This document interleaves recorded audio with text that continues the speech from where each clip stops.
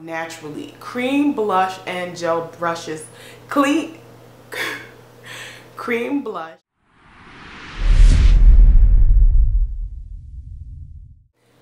Hey guys, what's up? It's me, Destiny here, and I come to you today with a blush brush video. I absolutely love blush and blush brushes, so I wanted to share some of my favorites with you guys. I get a lot of questions about what type of brushes I use and what type of brushes are better for what type of blush and why, so today I want to kind of address those questions.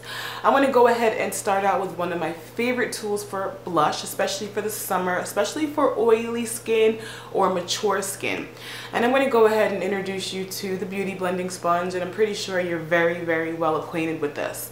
Now the reason I bring this up is because gel blush, cream blushes, and if you're going to use a lipstick as a blush, I think it should kind of be applied with something like this because it's so creamy.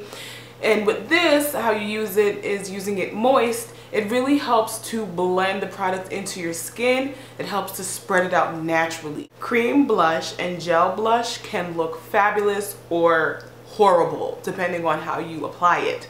So I definitely recommend using one of these for your cream or your gel blushes. Or if you don't have one of these, I'm pretty sure you have one of these. Now this is my Sigma, I can never remember the name of these brushes, I swear.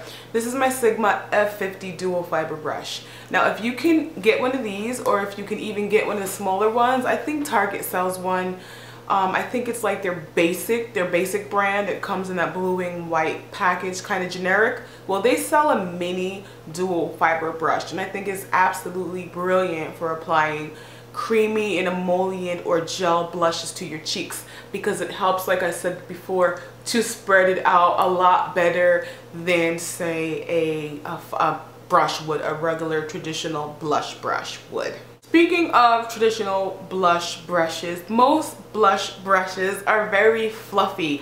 And I think that is because blush is one of those things where you don't want it to look too exact and too staged. You want it to be controlled and you want it to be flattering, but you still want it to look soft and you don't want it to be able to tell where your blush ends and begins. You don't want any harsh lines or any streaks or anything like that. So I really, really like this brush for that. It's very fluffy, but it's not too fluffy. It's easy to control. It's dense, but not too dense. It's tapered well, it's soft, and it really, really helps you to blend brush brilliantly and just flawlessly and effortlessly. Um, it's fluffy but not too fluffy like I said. It's big but not too big. You can see the size of it in comparison to my cheek and to my hand which is I think something you should always test out. You don't want to have this little tiny face and these little cheeks with a huge blush brush because then it's going to be all over your face. You won't be able to control it. The way this is shaped, I can tape it, take it and dip it into my product or sweep it back and forth or even swirl it and then take it to my cheek and apply it in a way that's flattering and also looks very very natural on my face. So I really like this. This is a Sonia Kashuk brush and these are available at Target. I also really like tapered brushes for blush. Now for a while I really didn't like it because I wasn't always into the blush contour type of look. I like this brush because of the way it's shaped. I like the way this brush is shaped because it's shaped on an angle. So when you are to dip this into your product most of the product is going to be down here at the butt of the brush. And then when you go to apply it to your cheek, most of the product is going to be back here near your ear, near your hairline, and that's how it should be. Blush should taper kind of from darkest to lightest or from darkest to lightest depending on how you have your blush going. So this really helps you not only with your technique but with your makeup aesthetic. I really really like how this brush has kind of changed my views on blush. This is a very tongue twisting video so bear with me guys.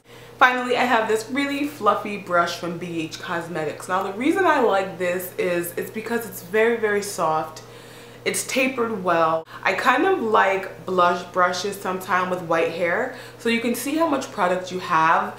You can see how much you're using. And what I like to do sometimes pick up some blush, dapple some off on the back of my hand, and then blend it up there nicely and evenly. This gives a really nice build to the blush because it is so fluffy. It's not going to pick up too much product at once.